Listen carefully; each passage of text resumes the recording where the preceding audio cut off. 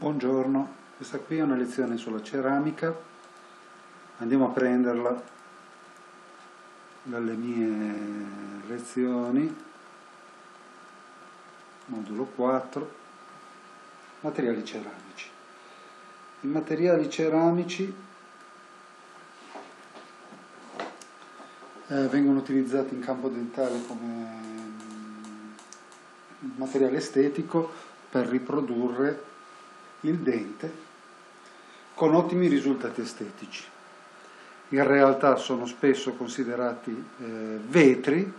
perché la parte estetica è trasparente, è traslucida e permette il passaggio della luce, eh, quindi lo smalto è principalmente vetroso.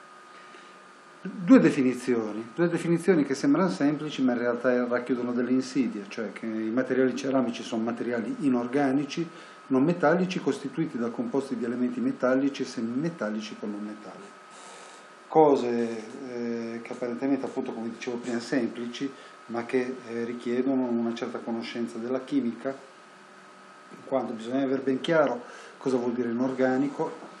In chimica eh, inorganico sono, i composti inorganici sono composti che principalmente non contengono carbonio organico,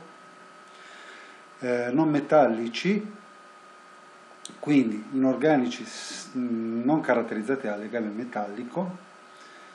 che sono costituiti da composti di elementi metallici con non metalli, quindi formano legami ionici, i metalli tendono a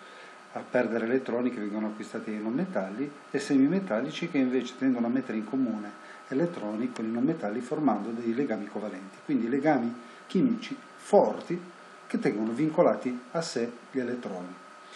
Ancora più in generale si definiscono materiali ceramici tutti quei materiali inorganici non metallici caratterizzati da frattura fragile, ossia che eh, il materiale giunge a, a rottura dopo una deformazione senza apprezzabile deformazione plastica.